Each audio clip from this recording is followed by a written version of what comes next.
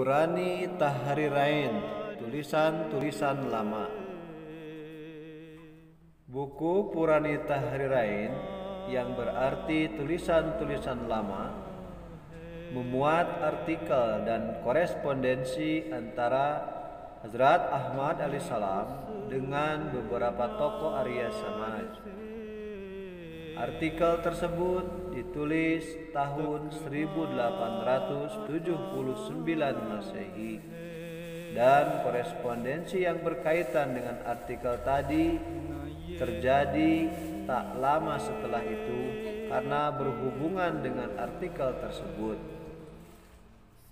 Tapi tulisan-tulisan itu dikumpulkan dan dicetak oleh salah seorang murid Hazrat Ahmad alaihissalam dalam tahun 1899. Artikel serta koresponden itu membahas tentang tiga hal yaitu satu kepalsuan teori perbandingan dan penyetaraan ajaran antara Al-Quran dan Kitab Weda, kitab suci umat Hindu.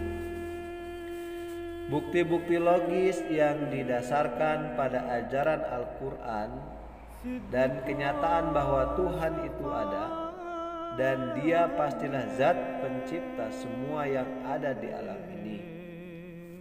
Kedua, kenyataan tentang wahyu. Perlunya ada wahyu serta bukti-bukti bahwa wahyu memang ada. Tiga, kepalsuan kepercayaan Arya bahwa ruh bersifat abadi selamanya dan tidak diciptakan. Penjelasan tentang kenyataan bahwa Tuhan adalah pencipta ruh sebagaimana dia juga adalah pencipta semua yang ada.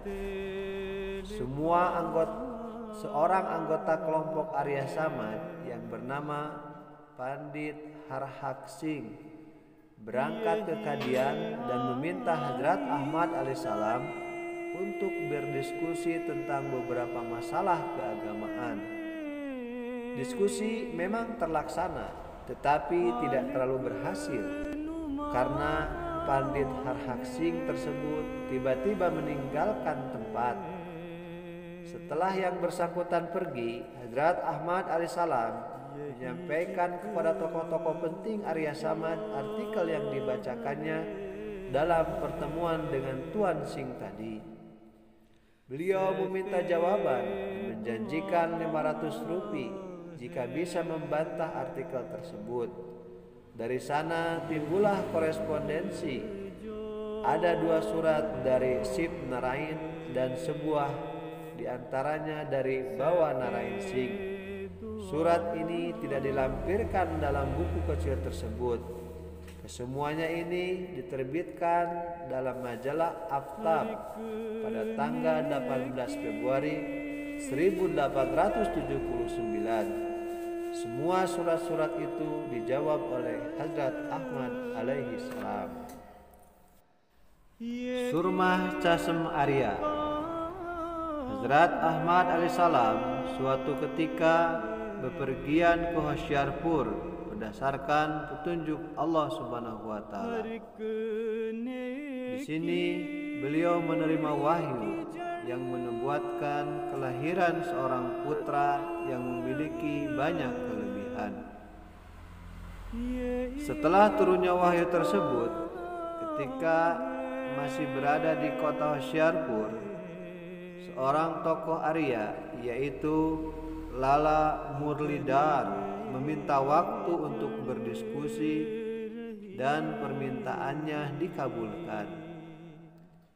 Diskusi itu berlangsung tanggal 11 dan 14 Maret 1886. Lala Murlidar tidak mematuhi persyaratan diskusi yang telah disepakati sebelumnya dan akibatnya diskusi diskusi tidak dapat diselesaikan dan diputuskan sebagaimana mestinya.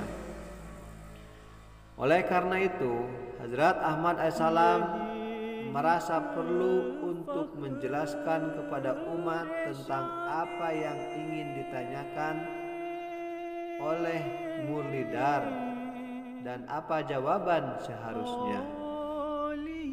Pokok perbincangan dalam buku ini adalah satu mukjizat Nabi Muhammad Shallallahu Alaihi Wasallam tentang membelah bulan. Kedua, apakah keselamatan antara syafaat itu bersifat abadi atau hanya untuk satu jangka waktu terbatas? Tiga, apakah ruh dan badan itu tidak diciptakan serta bersifat abadi atau memang keduanya diciptakan oleh Tuhan? Keempat, perbandingan Al-Quran dengan kitab Weda, kitab suci agama Hindu. Buku tersebut juga berisi tantangan mubahalah, mengadu kekuatan doa, guna membuktikan kebenaran suatu doktrin keagamaan. Buku tersebut ditutup dengan tawaran hadiah sebesar 500 rupiah bagi siapa saja yang bisa membantah bukti-bukti yang dikemukakan oleh Hazrat Ahmad alaihi salam. Syahnai Haq Rangkuman Kebenaran Buku yang diterbitkan pada tahun 1887 memiliki judul lain yaitu Aryongki Kisi Kadar Khidmat or Unke Fedon or Nukta Cinion ke Kunceh Mahyat Artinya penyuluhan singkat bagi kaum Arya Hakikat kitab Weda serta keberatan-keberatan yang mereka utarakan.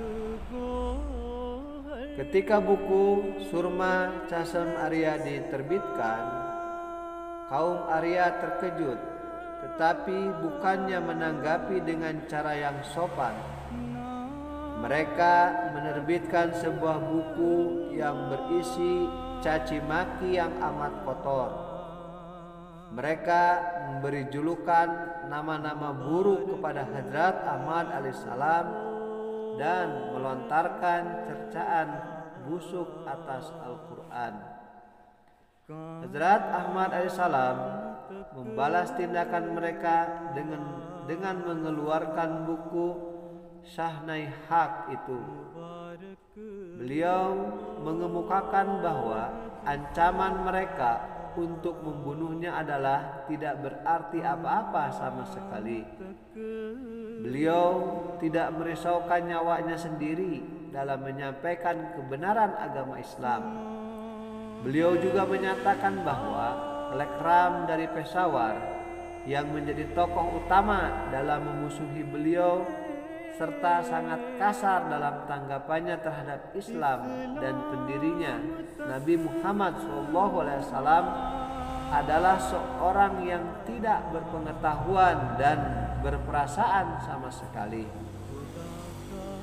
Di akhir buku itu dicantumkan juga surat dari Alex R. Webb dari Amerika Serikat.